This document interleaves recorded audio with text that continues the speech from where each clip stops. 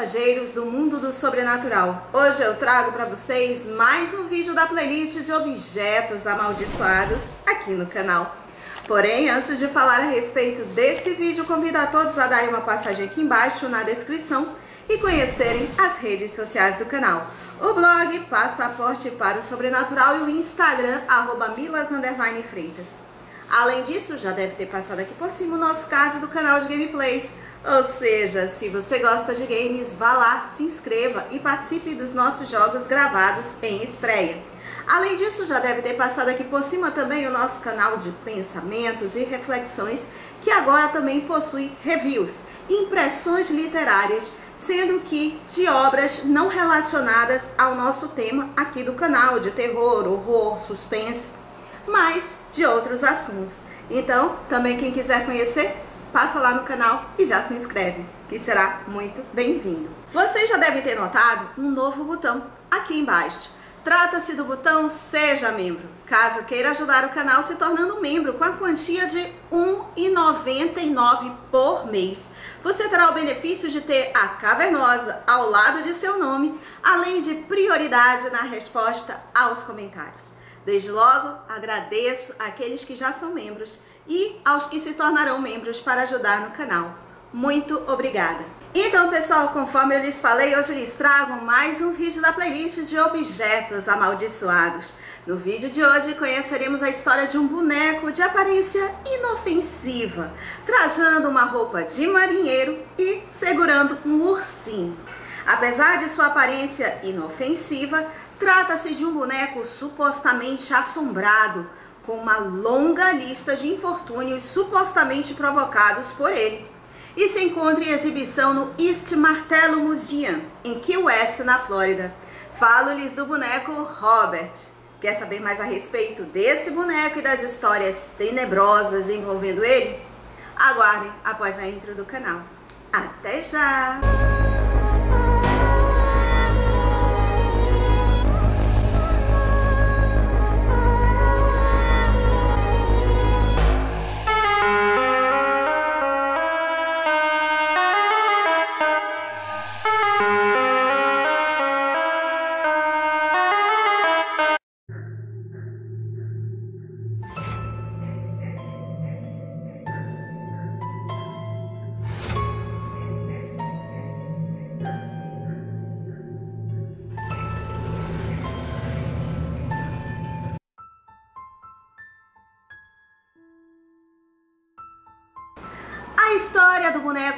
Robert remonta ao início de 1900, quando um menino chamado Eugene Robert Otto ganhou um boneco artesanal de um servo de sua família, que trabalhava para seus pais em sua casa. Aqui eu abro um parênteses, porque em alguns dos materiais de pesquisa há informação de que o boneco, na realidade, foi um presente do avô de Eugene Todavia, na maioria das pesquisas, há informação de que foi um presente desse servo. E nesse caso, as origens da assombração seriam mais macabras.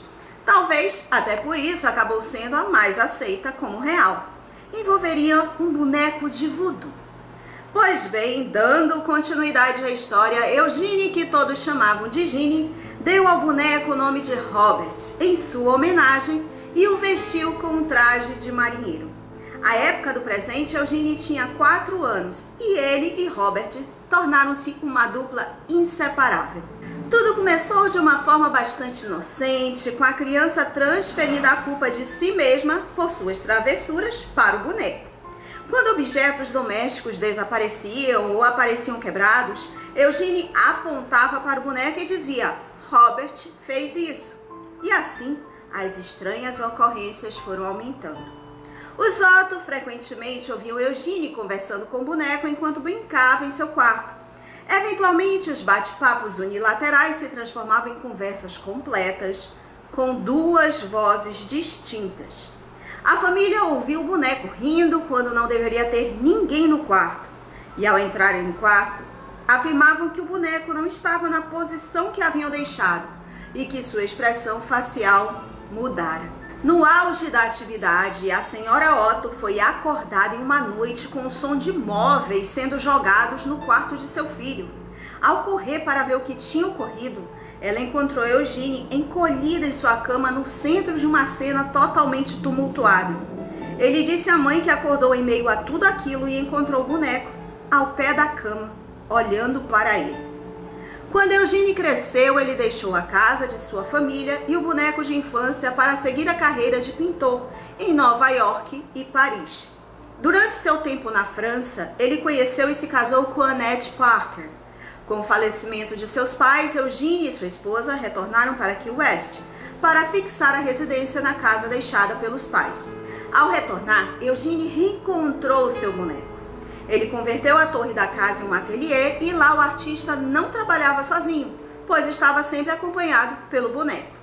A esposa de Eugene, Annette, desconcertada com a presença assustadora do boneco e os acontecimentos inexplicáveis que o rodeavam, exigiu que o boneco permanecesse trancado no andar de cima.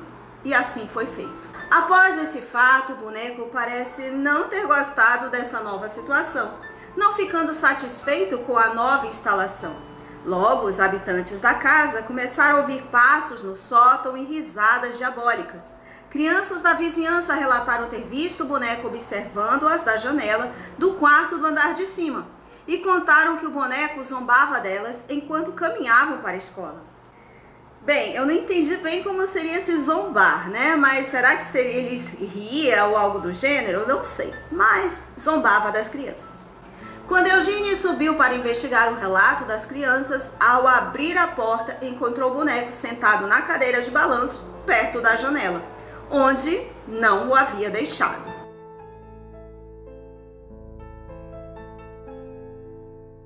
Eugene faleceu em 1974. Sua esposa morreu dois anos depois. Após a sua morte, a casa foi vendida e nela ainda permaneceu o boneco. A casa foi vendida para Myrtle Realtor, que ficou com o imóvel por 20 anos até que a propriedade foi vendida e os novos proprietários a transformaram em uma casa de hospedagem. Em relação ao boneco, a filha de Myrtle, de 10 anos, encontrou-se com ele ao entrar no sótão da casa mas sua alegria em encontrar o boneco logo se foi, quando ela afirmou que o boneco estaria vivo e que queria machucá-la. Ela acordava muitas vezes no meio da noite gritando de medo e contava aos pais que o boneco havia se movimentado no quarto.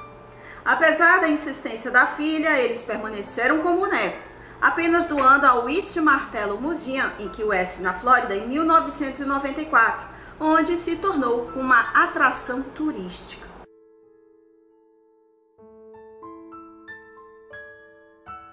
Embora a maioria dos que viviam em Key West apoiassem a Confederação, essa era controlada pela União. Surpreendentemente, nenhuma batalha ocorreu na ilha e assim que a guerra terminou, o Forte East Martello foi abandonado. Hoje o forte abriga o Museu East Martello, um ótimo lugar para os visitantes conhecerem a história da ilha. E também o lugar para ir se você estiver em busca de um encontro paranormal. O museu abriga o boneco Robert, um estranho boneco feito à mão que pode ter sido apelidado de The Original Chuck. Por muitos anos, o museu ignorou Robert, mantendo-o no porão, até que finalmente decidiram integrá-lo na exposição fixa. Ao ser exposto em uma caixa de vidro pela primeira vez, os visitantes ficaram fascinados por ele. No entanto, os visitantes começaram a afirmar que Robert, de alguma forma, arruinou algo em suas vidas. As queixas incluem acidentes de carro, ossos quebrados, perdas de emprego e até morte. Tudo isso por eles o desrespeitarem no museu. Tanto que uma das recomendações é a de que todo mundo que vai até o museu conhecer Robert se apresente e sempre peça permissão do boneco antes de tirar qualquer foto. Há quem diga que a expressão facial de Robert muda ouvindo risadas e até mesmo vendo Robert colocar a mão no vidro. Falam ainda que as câmeras fotográficas ficam inoperantes quando tentam tirar foto do boneco sem autorização, apenas para funcionarem novamente quando saem do museu. Milhares de cartas e e-mails chegam regularmente para Robert, onde pessoas pedem perdão por tê-lo tratado com arrogância e imploram para que a maldição seja retirada. Inclusive, ao redor da caixa em que ele se encontra, há inúmeras cartas de pessoas suplicando por perdão.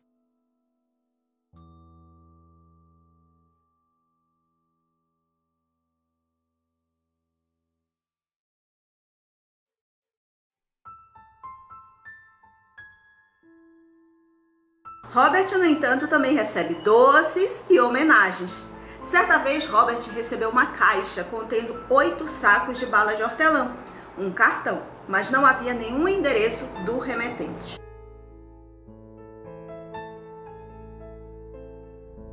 Convertito é a cuidadora de Robert. Uma vez por ano, ela administra um check-up tirando do, do, da caixa e pesando para avaliar se o clima úmido da Flórida afetou negativamente seu corpo cheio de palha.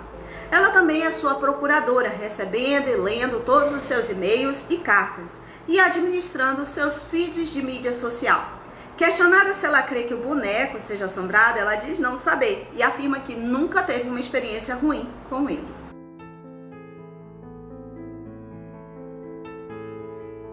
Segundo pesquisas para esse roteiro, o museu em que Robert se encontra rastreou as origens de Robert até a Steiff Company, a mesma fabricante de brinquedos que fabricou pela primeira vez um ursinho de pelúcia em homenagem a Theodore Roosevelt.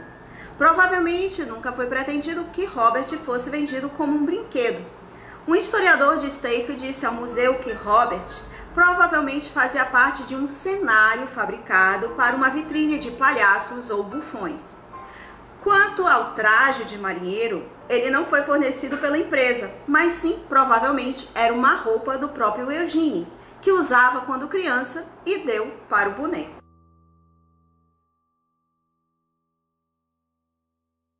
O boneco ele foi exibido na TAPSCon, uma convenção organizada pelo The Atlantic Paranormal Society, realizada em Clearwater, Flórida, em maio de 2008 marcando a primeira vez que ele deixou Key West, Flórida, em seus então 104 anos de existência.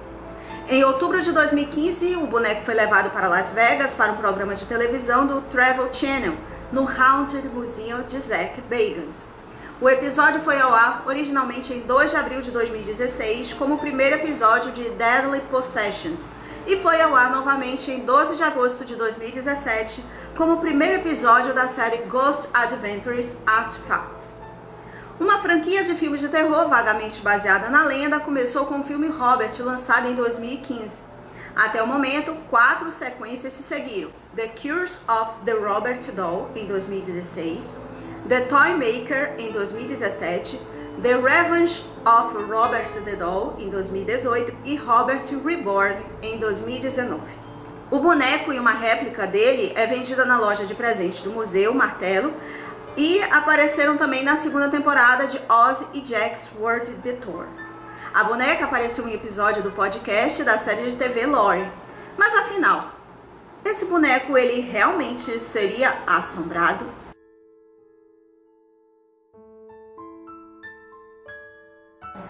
Bem, a partir das pesquisas que fiz para esse roteiro, não podemos afirmar afirmar categoricamente que é e se trataria de marketing no museu, nem tampouco que não é.